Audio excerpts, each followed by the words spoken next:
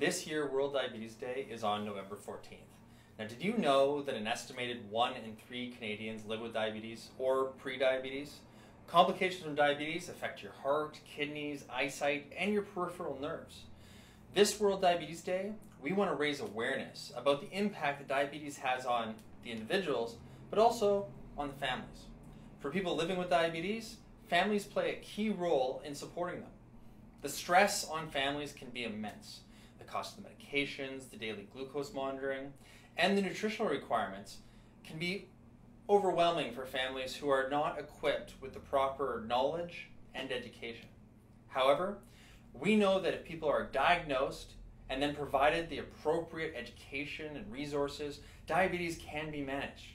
It is therefore important to ensure that we have ongoing diabetes self management education and support for people living with diabetes and their families.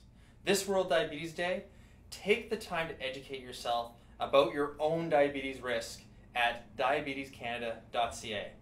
Working together, we can make life better for those living with diabetes.